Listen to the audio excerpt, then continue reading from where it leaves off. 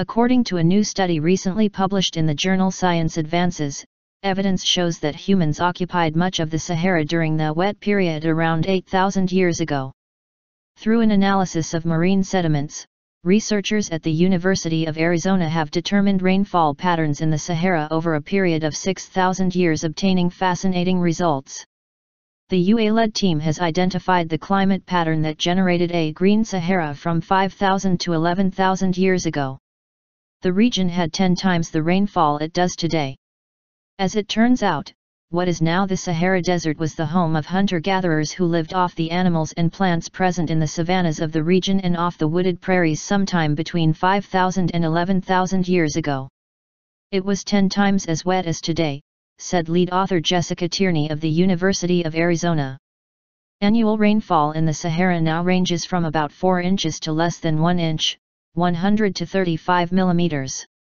Although other research has already identified the existence of a Green Sahara period, Tierney and colleagues managed to compile a continuous record of rainfall in the region that existed 25,000 years ago.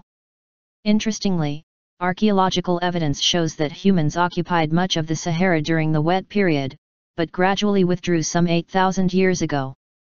Other researchers have suggested that the Sahara became drier by the time people left, but the evidence was inconclusive, says Tierney, an assistant professor of geosciences at the UA, whose work was published in Science Advances.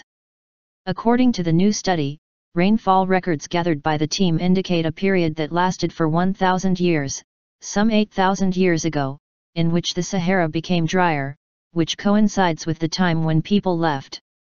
It looks like this thousand-year dry period caused people to leave, Tierney said.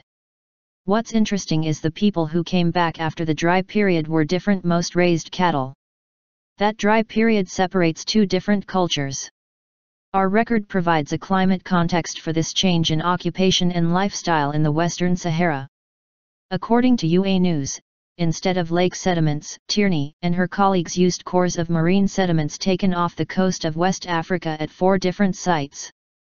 Because the cores were taken over a north-south distance of about 800 miles, 1,300 kilometers, from offshore Cape Ghir, Morocco, to the northwestern corner of Mauritania the cores revealed both the ancient rainfall patterns and the aerial extent of the Green Sahara.